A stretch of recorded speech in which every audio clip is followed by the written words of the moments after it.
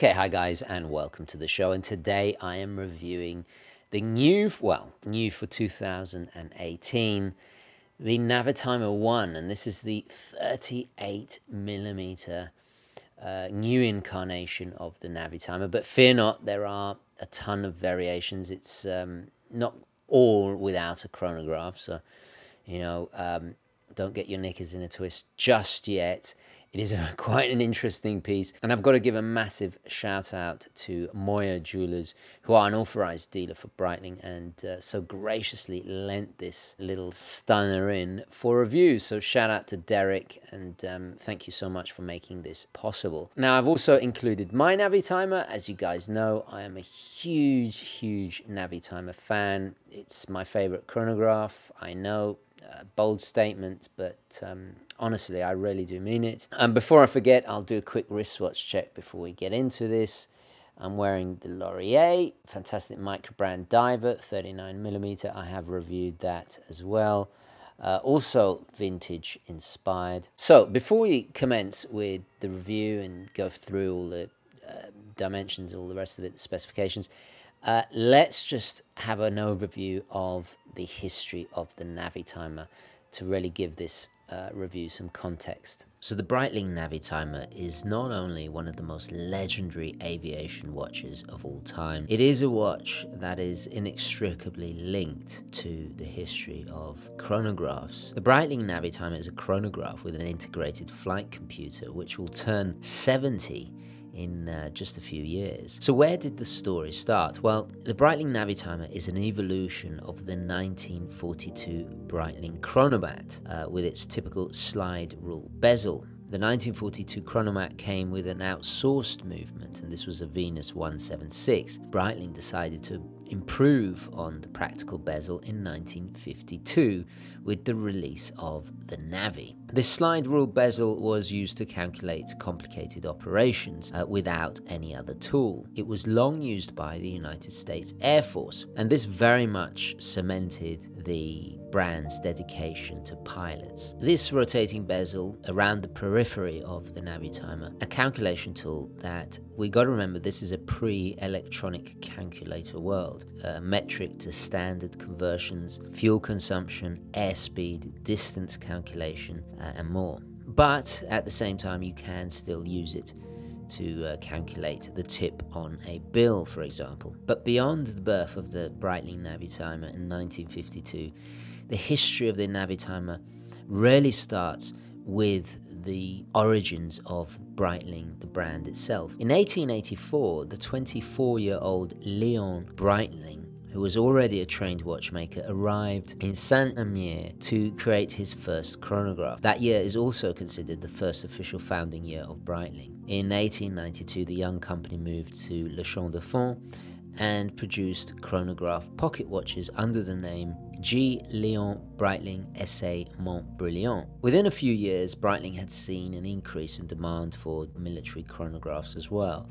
In 1915, Breitling introduced the first wrist chronograph with central seconds and a 30 minute counter allowing pilots to achieve basic calculations. The first chronograph with a pusher, usually start and reset of the chronograph, was made through the crown. So this was very much a Breitling first. And this very much is the origins of what was to become the brand's main genre of watch. In 1934, Willy Breitling, the successor of Leon, came up with an idea that has now become the norm uh, for chronographs, and that is adding two pushers. So one to stop and start, and the other uh, to reset timing. Willy wanted to go further in the idea of a calculation tool and asked the mathematician Marcel Robert to create a slide rule bezel that could perform complex logarithmic calculations. He created a scale with the three most important units for pilots STAT for standard mileage, KM for kilometers kilometers, and NAUT for nautical miles. So this essentially was the first on-the-wrist computer.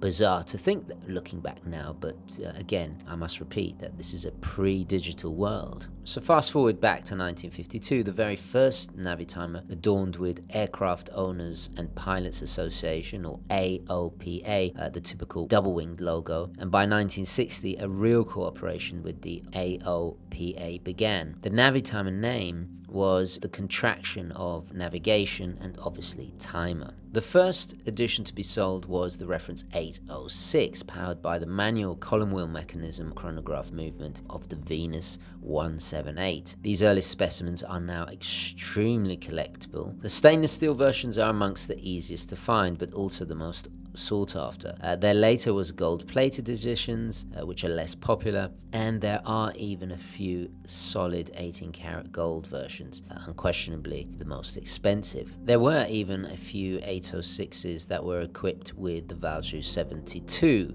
which we all know from the previous Daytona video was used in a few of the Rolexes. During the late 50s, the brand uh, started to use what is commonplace nowadays, and that is more of an emphasis on marketing and ambassadors. Willy Breitling helped the Swiss advertiser Georges Caspari to develop a campaign targeting groups of pilots, and uh, this created huge demand for the, these navigation chronographs. Furthermore, Breitling continued to be the official supplier of onboard instruments for all the major aircraft companies. Uh, for example, if we look at the 1957 Boeing 747, uh, these were equipped with Breitling dashboard instruments. In 1962, a special edition of the Navitimer, the Cosmonaut, with a 24 hour display, accompanied the astronaut Scott Carpenter to space. So, not only does the Navitimer as an iconic watch predate perhaps its one of its greatest rivals, the Speedmaster, it has also earned a place in the short but prestigious list of watches and chronographs that have been used in space exploration. The 60s was very much the peak of the Navi timer, but it also started to become popular culturally with the likes of my personal favorite, Miles Davis being a big wearer of the watch itself. One even popped up in the James Bond Thunderball movie in 1965, one of two Breitlings in that movie. The bizarrely modded Breitling top time that uh, Sean Connery wears often gets the limelight, but we forget that the character of Captain Derval a French NATO pilot, wore a reference 806. This fascination with the Navitimer has persevered over the decades, with such fans as Travolta, Tommy Lee Jones, Serge Gainsbourg, the legendary musician uh, Herbie Hancock, Seinfeld, and so on and so forth. So by the end of the 60s, Breitling chose to change from the Venus 178 to the Valjoux 7740, a manually wound movement cam operated with a date feature. And then finally, the first introduction of an automatic chronograph came in 1969, and this is perhaps one of the most interesting uh, developments for the Navitimer. The man behind this new caliber was uh, Gerard Dubuis, who's now become famous with the name Dubois Dépraz, and we've mentioned him in various um, reviews of Speedmaster automatics and etc. Uh, using a base caliber from Buren, who themselves are famous for their micro rotor, again recently mentioned, uh, Dubuis started working with Jack Heuer and Willy Breitling to develop a brand new idea for an automatic chronograph. And it's this cooperation that led to the creation of a modular chronograph mechanism that was added onto the top of a Buren caliber. And this incorporated the micro rotor, which is um, pretty much invisible uh, if you look at the movement. And so the legendary caliber 11 was born. This is a,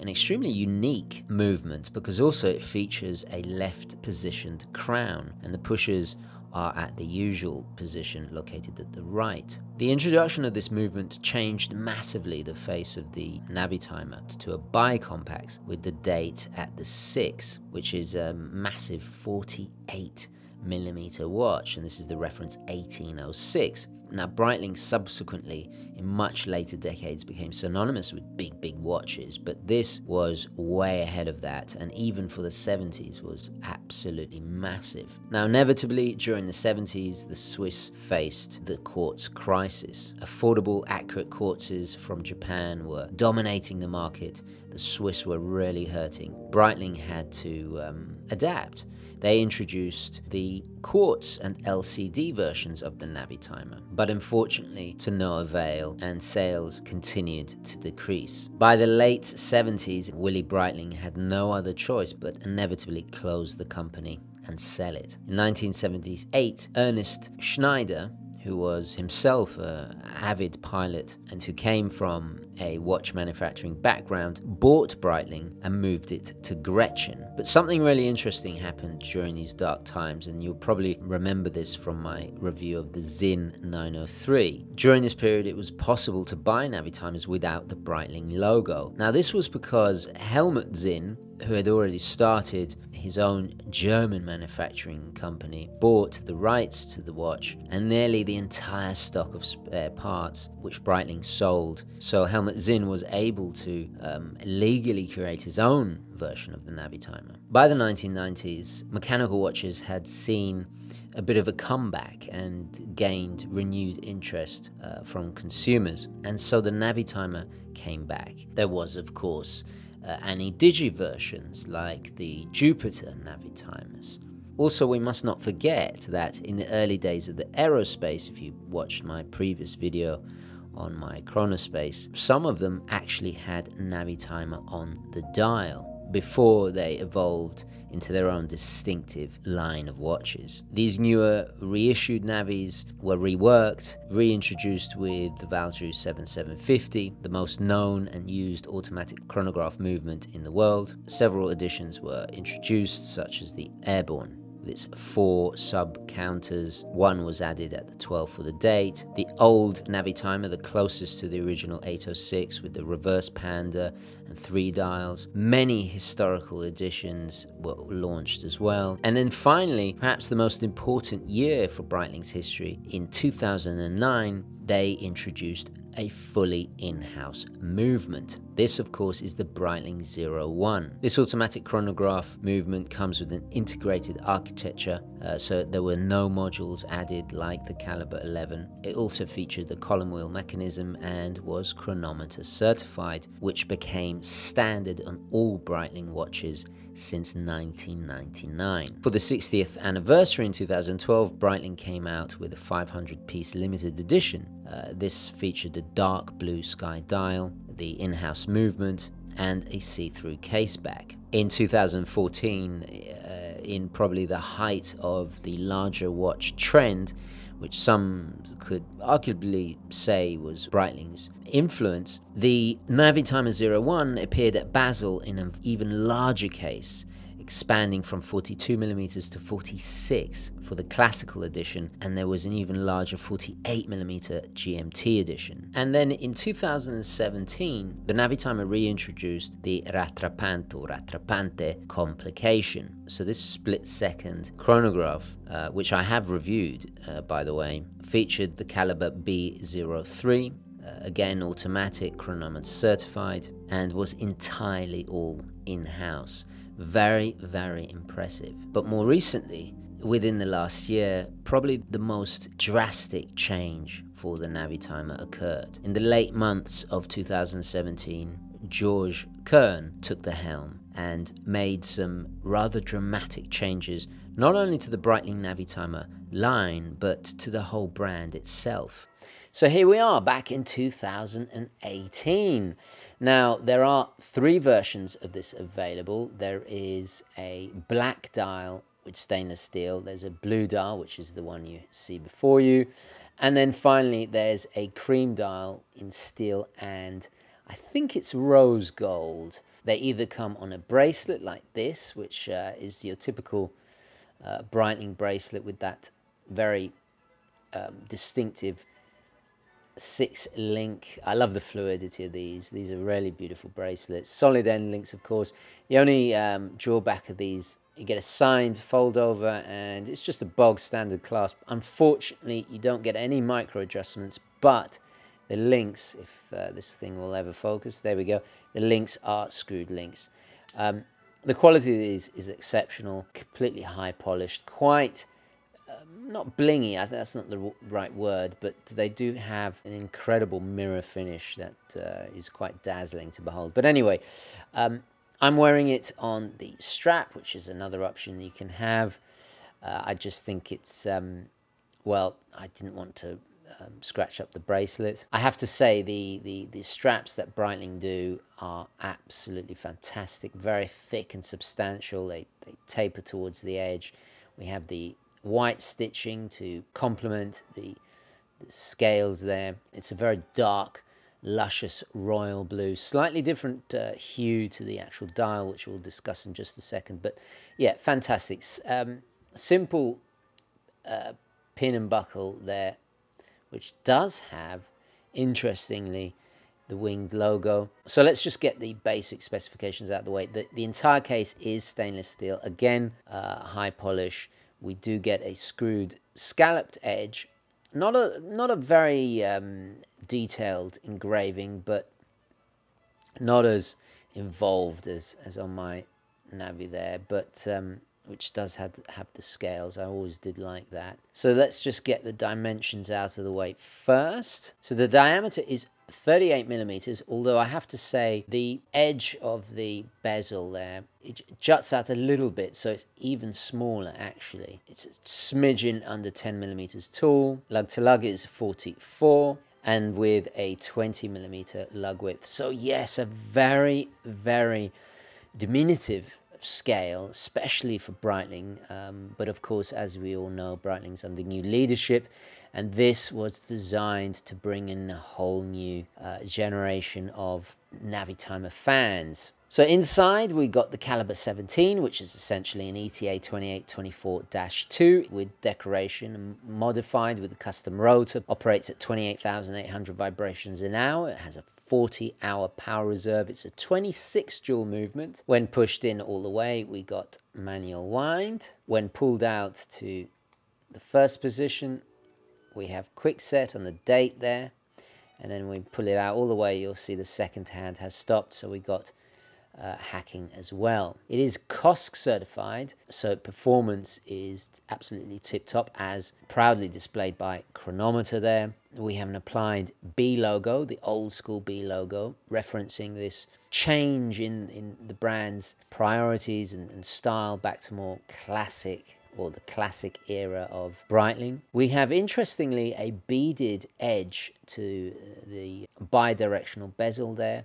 It frames the domed crystal beautifully well. The domed crystal is extremely subtly domed. You hardly even notice it. It has AR coating on the inside. That dial is just absolutely bewitching. A really rich blue. It's a different blue to mine my Navitimer, as you can see. It's a bit more, well, it's somewhere between Egyptian blue and denim blue. Of course, we get that sunburst effect that is just absolutely gorgeous.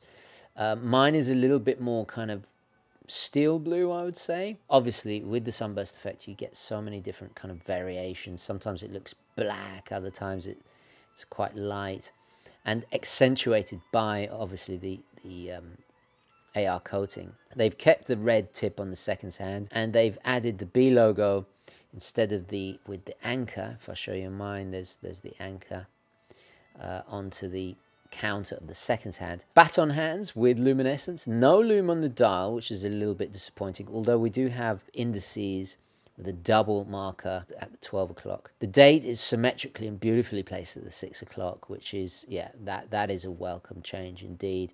The date wheel has the matching darker blue with the crisp white for the lettering. Little flashes of red every so often on certain markings and the scales that complement that extremely precise tip of the seconds hand. The finishing is impeccable. Again, high, high mirror finish. No other uh, of finishing whatsoever. So let's pop it on the wrist and see how this little beauty wears. And there we go. So on my six and a quarter inch wrist, it is utter perfection. Uh, the way it plays with light, it has the majesty and grace and beauty of any Navitimer. I mean, that dial is, despite being simplified, it's still um, as bewitching as any Navi timer. The edge of the bezel gives a slightly decorative um, and quite dressy feel, but at the same time, very easy and ergonomic to, to grip and use once on the wrist. It's astonishingly only 63 grams, so very, very light. Uh, certainly my sweet spot, and it's going to be a sweet spot for a lot of people, I would imagine. Extremely comfortable. The strap has a very reassuring, luxurious feel to it and positions and holds the watch majestically. It's quite ravishing as you angle it and play with the light. Um, very legible as well, despite the markings being just that slight bit smaller than um, my uh, Navitimer. Yeah, very light. Yeah, you, you actually, I've got to be honest, it's so slender, it feels much more like a dress watch than a tool watch. But that is something that the Navitimer has always done so well. And that actually brings me on nicely to discussing the positives and negatives. So without a doubt, the first thing, you know, that, that I've got to praise is this more traditional size, shall we say. It really bridges the gap between dressy, sporty and tall wonderfully. Uh, it's quite refreshing to have a Navitimer that's so slender. I mean, that is something that is quite noticeable about my Valjoux 7750 based Navi there. It's classic look, it's tastefully done. The dial has that concave depth that is just so indicative of the Navitimer. It does evoke the feeling uh, of a Navitimer, un unquestionably, despite the lack of chronograph. The quality's there, exquisitely made with COSC certification. You have no qualms about it, um, um, its accuracy also, it's going to be very easy and affordable to service with uh, the ETA in there, and certainly more robust because obviously with just being a three-hander with a date, less complications, less complicated, uh, so less chance of things going wrong. So as a tool, it, it definitely serves its purpose. I think it's a clever idea to, to appeal to a wider audience. Part of the, motivation for making this was not only to attract an audience uh, the Asian audience, but also the female wearer or watch fan. And it will certainly do that. I asked my wife what she thought. She loved it. She thought it was very refined looking, and that is something that the Navitimer dial always does. It's a balanced, elegant look that is just so delightful to wear. So let's discuss the negatives uh, because, well, unfortunately, there's a lot of them. Now, Breitling brought out the Navitimer 8 family of watches where they got rid of the scales uh, completely. I think the fact that they kept it here, um, it still feels like a Navitimer. I think um, the, the, scales are so integral to the history of the watch that to have a Navitimer without the scales, well, to me personally, it just doesn't feel like a Navitimer. The loss of the uh, chronograph isn't actually that much of a, a big loss. I'm, I'm, I have to be honest. However, um, what would have really elevated this, this particular version would have been um, perhaps to replace the chronograph with a more usable complication. I would love to see a day complication or even a GMT. Uh, that would have really just taken this watch to that next level. It feels a little bit lacking. Purists will be up in arms about the lack of chronograph. But let's not forget, there was that reference 66, uh, which had no chronograph and had no scales even. Um, so it's not the first time Breitling have done this. One of the biggest negatives of this watch is definitely the water resistance being only 30 meters. I think they could have improved it. It's certainly the Achilles heel of the of the Navitimer, always has been. If we look back at the historic uh, cosmonaut that um, accompanied Carpenter on his space mission when he re-entered and he landed in water. There was actual water damage to the dial of the watch. And I'm always very nervous about wearing my Navitimer even on a rainy day it would have been nice to see Breitling address this Achilles heel. The next big negative for me is the value. I mean, this is priced between three and four thousand dollars. Obviously, prices vary depending on where you buy it, how you buy it. But for that money, I mean, you might as well just get a used um, older version like mine, which is you can definitely buy on the used market for, for less than that. Not to mention the Sinn, which if you remember the jewel with my Navitimer, uh, beat it because it had the decorated movement, more water resistant. It was actually a better watch in every single way. The only thing it didn't have is the branding. So it is undoubtedly overpriced in my opinion. Not on the preposterous levels of, of some IWCs. I just think it could have been a little bit more affordable. At the end of the day,